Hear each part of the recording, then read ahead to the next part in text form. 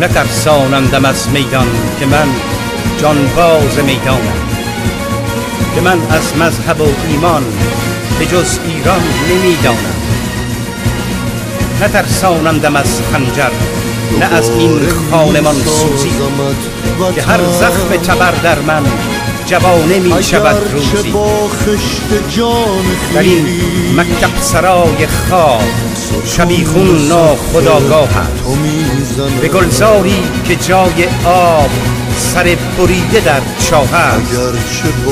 اگر از پای بنشینی اگر سر بر سکوت از این خانه به جز ویرانه ای بر جا نگذاری. بیا طوفان برانگیزی. بیا با هم به پاخیزی. چراغ چشم دشمن را به سقف خانه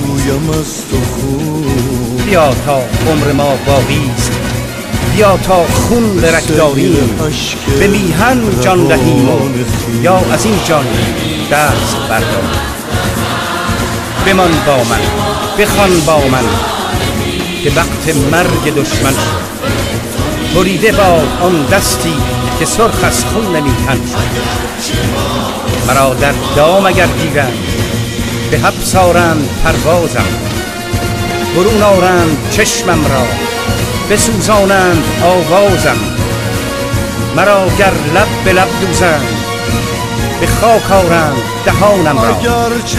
اگر بر دارم آویزند برخصانند جانم را. نترسانندم از میدان که من جانباز می‌دانم. که من از مذهب و ایمان به جز ایران نمی‌دانم. نترسانندم از زندان. تو گر آتش برانگیزی مرا مرگ هم نترسانم تو گر با من به بیا تا عمر ما باقی بیا تا خون برگداریم به میهن جان دهیم و یا از این جان دست بر.